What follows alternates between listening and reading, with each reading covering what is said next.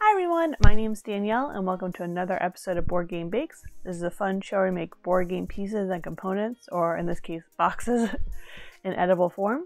This is the third cake in a three cake series that was all tiered together to make a stacked cake. First was the Mirror Glazed Dice Cake, the Battlestar Galactica case, and now this is a puzzle box cake. This was made for Games Unlimited, which is a Pittsburgh store that recently opened a brand new huge location.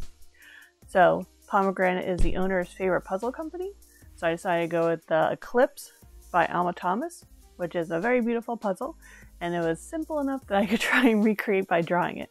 So here's how you make it. The first step in creating your cake is to get the cakes the right size. So I used a piece of cardboard that I covered in aluminum foil, and I used that to trace these very thin pieces of cake. And these little squares I just made are for the dice cake. You can see the link below.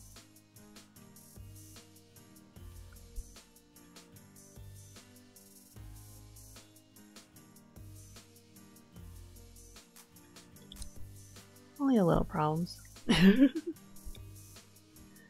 now is the fun part, or something's not so fun part. Covering it all with peanut butter buttercream. Yum yum yum. I used my cutting board to get off of the parchment paper so then I could flip it over onto the cake. It mostly worked. Then you get to add more buttercream. You feel the sugar high from here. Now here's the last layer. It made it. Just barely. Now I'm going through and making the sides all even. And doing a layer of icing. The nice thing is that it's covered in fondant, so it didn't have to be as pretty looking.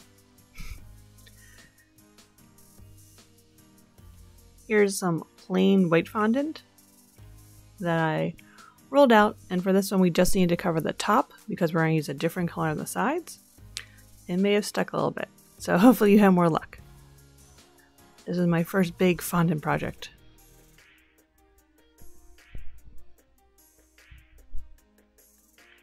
Now that's on here, I smooth it out and I'm trying to cut it so it lines up with the edges. So this way when I put the blue around it, it matches up. Here's a blue that I made a light blue color to match the box. And I'm using a quilting square to get straight lines.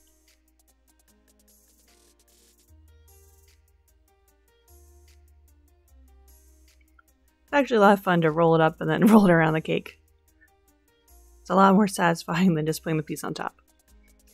So now it's around there, I'm smoothing against the side and trying to make it so the top and the sides all match up.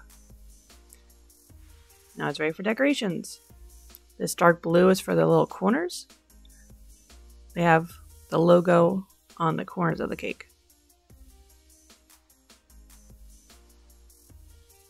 Once again, using my quilting square to get some straight edges.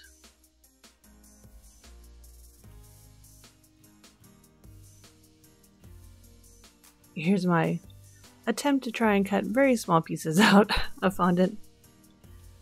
I'll get better. I didn't stab myself, so I think it's a win. And at least a little bit looked like a puzzle piece. Now to make the artwork for the top. I use this as just kind of a stencil to figure out how big I wanted the main artwork to be. And this way I didn't have to worry about bending, it helped it stay straight. I used a bowl to just get a circle which when you look at the picture, it focuses around this big circle in the middle. Here's where I attempted to make it look like they were the actual circles in the picture, but I kind of up going sideways. But this is still a fun project with edible markers. You'll see it kind of swerves to the side, but now you just get to fill in all the extra lines. So much yellow. It's a very pretty puzzle. I'd like to see it in person. Now we're on to orange.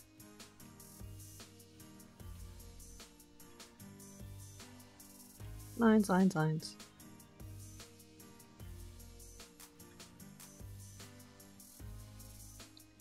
I think I was decorating this while I was playing D&D, so it's a nice little side project. It was like I was doing a coloring book. And that's probably why the lines aren't as centered.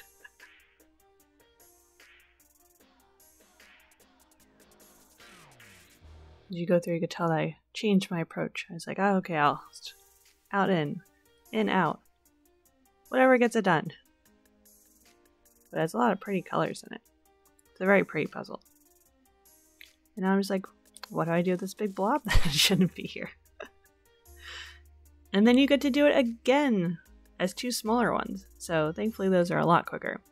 By the same thing where I use cardboard so this way they would stay flat.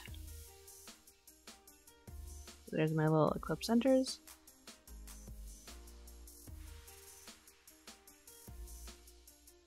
I learned from my big one and also knew that didn't have to be as perfect because they are a little on the sides.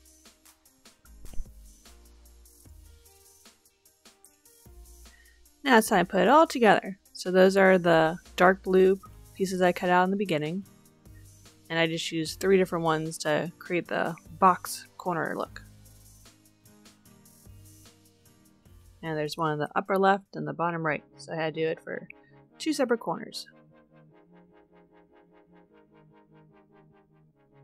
And this corner is actually going to be partially covered by the big eclipsing, so I didn't have to worry about as much. Here we go. Putting on the puzzle. Very satisfying. Like, ta-da! And here's the little 1000 we cut out, because it's a 1000 piece puzzle. And here's a little water underneath it to help it stay. Now we're putting the little eclipse pieces on the side. Each corner has one. Well, each side has one.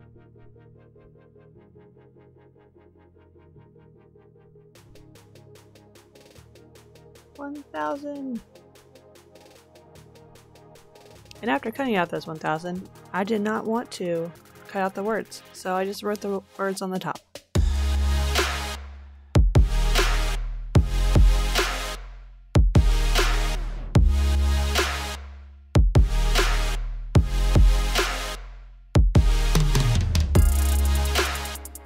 For watching another episode of Board Game Bakes. If you want to see the other two cakes that are included in this three-tier cake, see the link down below. And while you're down there, hit subscribe. Thanks for watching another episode of Board Game Bakes. Let me know in the comments if there's any other games you'd like to see featured on the show. Keep playing games and keep them sweet. Bye!